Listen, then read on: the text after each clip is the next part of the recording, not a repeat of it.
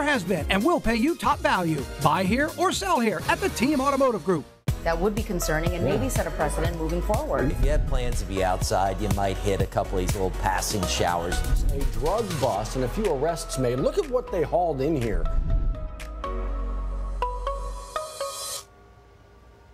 Happy Monday. Good morning to you and to you. To you and to you and, and to, you. All the mamas. Oh, you know what? It was what a good. It was. It was a good Mother's Day. Hopefully, yeah. it was a great Mother's Day out there for you and uh, everybody. Uh, celebrate all the moms out there. Can't say thanks enough. And uh, I'm fortunate enough to have my folks, for instance, like living Sweet. here, and so being able to do that. And yeah. of course, uh, my wife, mother of our three kids. Just a just a, a good, a, a, solid day.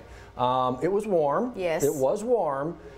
And from the looks of that, it, it's going to be, yeah, I know. It's, it's going to be warm again today. It's that time. yes, so we know it down in South Louisiana. We sweat, we look forward to the sun, and we, of course, anticipate rain. Right. Today's another day where it's looking much like that. How about we check in with Dr. Steve Caparotta for a better look at the timing of that rain and our week ahead forecast. Hey, Steve, good morning. Good morning, guys. You know, we're about midway through May. Feels like we're midway through summer with our weather. Live look outside this morning, bright sunshine at this hour. Sky 9 camera brought to you by Our Lady of the Lake. That sunshine's going to heat things up, though, quickly. 92 for a high, a 50 50% chance of showers and storms. So still hot and humid today, but overall looking at better rain chances than what we've seen the last couple of days. Right now, low 70s in most areas. Gonzales, Hammond, 71. McComb starting out at 70 degrees. So a little bit of fog this morning, uh, mostly off to our west, and that's where it is right now on the west side of the Atchafalaya Basin.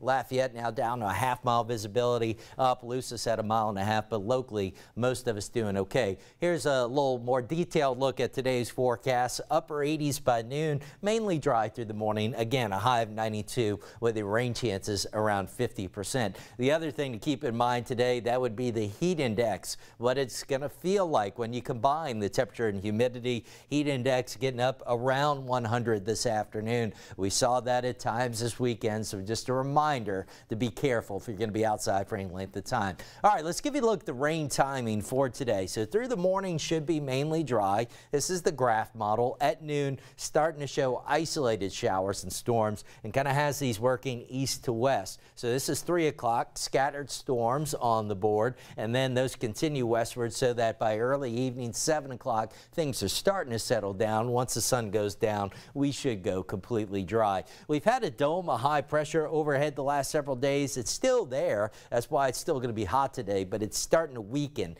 and it's weakening just enough to allow some storms both today tomorrow.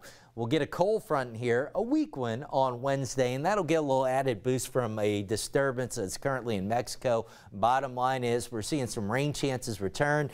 50% on those chances today and tomorrow, up to 60% Wednesday as the front gets close. And with that, not quite as hot on Wednesday, a high of 87. Briefly, a little bit drier Thursday, Friday, and that looks like another weak cold front on Saturday, giving us a little bump up in rain chances to 40%. And then Sunday into early next week, back to a somewhat drier pattern. Staying warm, though. Highs in the upper 80s to near 90 degrees. 706 now with a check on your Monday morning commute. Here's Johnny.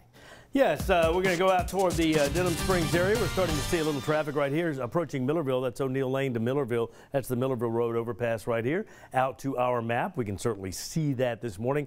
Little Airline Highway northbound traffic between uh, Florida Boulevard and Greenwell Springs Road. Greenwell Springs Road itself right here at uh, Wooddale and Lobdell. Also a little uh, busy this morning. Then over to Denham Springs. We start you right here at the Juban Crossing area where it's slow. Then it really gets slow over the range overpass right here as you make your way toward, or I beg your pardon, the uh, Amite River Bridge overpass. Make your way toward O'Neill, thins out a little bit. Then we slow down again around Sherwood. And then when you get to the 1012 merge, we have a little bit of traffic right here at the merge. That's our interactive um, 3D map right here. We show you that in live cameras. That's our camera shot from DOT right at that construction area at the merge. Bridge traffic doing okay for the time being this morning at 707. Both ferry boats are operating in Iberville Parish. Second one until a little after 9. So you have both boats in very minimal waits at the ferry landings. Seven minutes after, and Matt and Liz kind of give you an update, a highlight of the top stories that we covered this morning. If you missed 9 News this morning, they're in Studio B this morning with that update. Guys. Johnny, thanks. Speaking of yeah. updates, we've got a kind of more of the same for you today. Yeah, this is this is that story that kind of took over the back end of last week, Yeah. uh, understandably so. Uh, shooting involving a Denham Springs police officer. We've talked a lot about Corporal Shawn Kelly.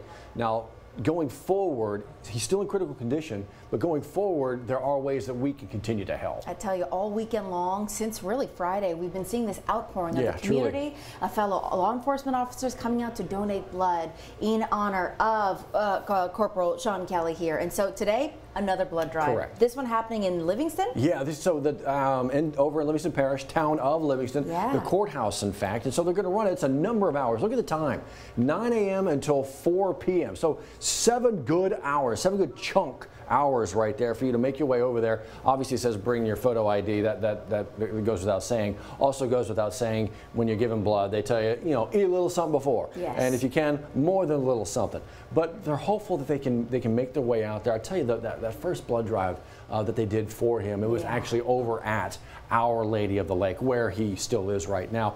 You had a good number of people show up. This this pulls a lot of people in. Yeah.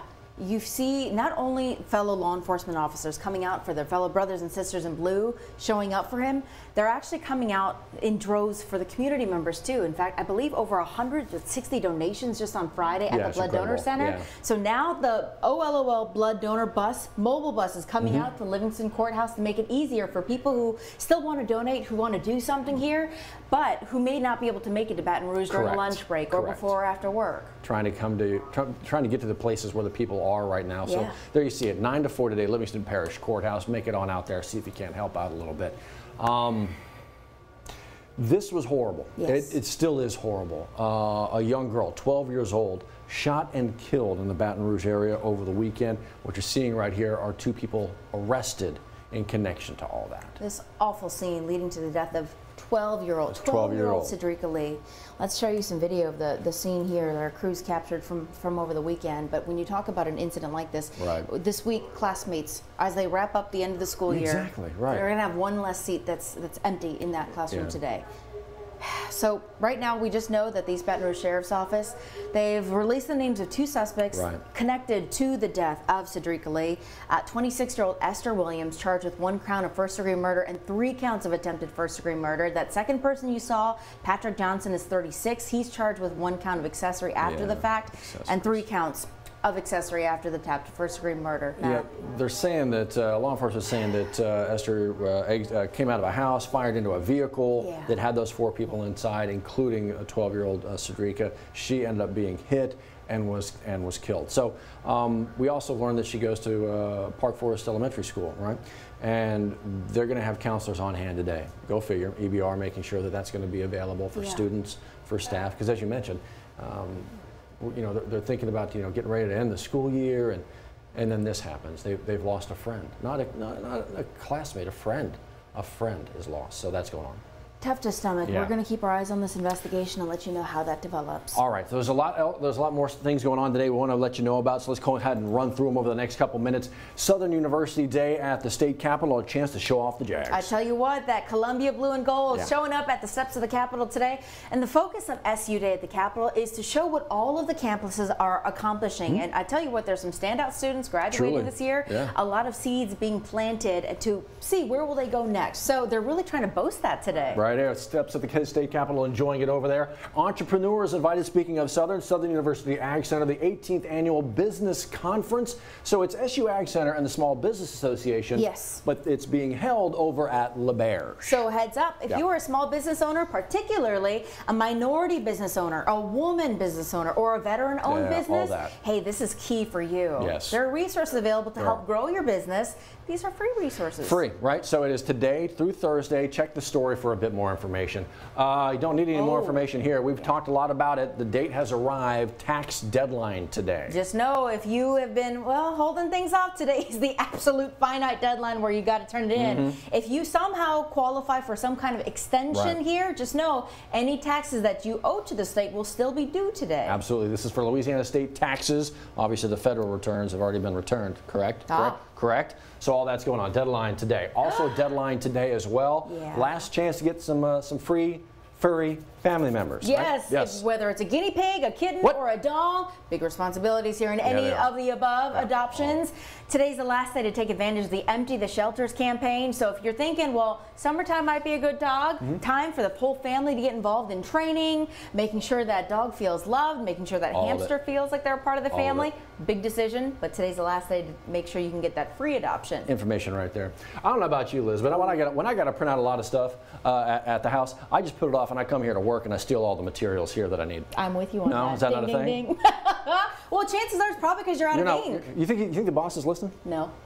We're about to find out about an hour. Oh God! Yeah, he'd be walking in going, "You owe me a lot of money." Right. Dion Guillory, though, Consumer Reports, talking about printers and specifically the kind of ink that's used and how to save money. Yeah, especially if you have those, you know, regular home printers. Right. Chances are the ink cartridges are more expensive than the printers themselves. Yeah. So Dion talks about some alternative options so you don't have to keep replacing those cartridges as often Right. and keep stealing the work printer. That doesn't happen. Well, it happens across America. It happens everywhere. This happened everywhere. Hopefully, great day for mothers across the across the country. Yeah. Uh, Mother's Day. What a, what a great day to celebrate the moms in our lives. I tell you, and the weather was mighty fine for it I'm here, telling you. albeit Well, it hot. was warm. But I tell you what, the sun was shining for moms here in the South Louisiana. And Steve, you you drummed up a great forecast for it. Today is much of the same, but hoping that y'all had a great Mother's Day too, you and Johnny. Was the uh, pool water warm? It, it was, yeah. It, it felt really, it was perfect. Especially you sit out there a little bit, get the sweat going. Yeah, get in the pool. It was a big crowd out there yesterday too, where Oh. we went. Um, so yeah, the heat, the summer heat, it looks like it's here to stay for a while. Today, tomorrow, back into the low 90s. The change though from what we saw yesterday, some better rain chances ahead on the order of 50% today and tomorrow, 60% Wednesday. So indeed, it's like that summer-like pattern, heating it up. And then we're really going to get this storm starting to bubble, it looks like, the next few days. Might want to wear your baseball cap with the bill to the front know- instead you of the noticed back. that, I- yeah. Lesson learned. There's a little bit of evidence of what I was doing yesterday. Well, he did, Oh, he did graduate from vera. Brother Martin after all, but oh well. Hey, Johnny, uh, what comes first? Are you going to mow or run through the neighbor's sprinklers? Which comes first? Uh, Are you gonna- sprinklers. The sprinklers. sprinklers first and then mow? You got to cool off before you start the work. You're so bad. I You're so it. bad. Oh my goodness. All right, careful with the heat out there. We're going to see you again in about 10 minutes over on the mothership, WAFB.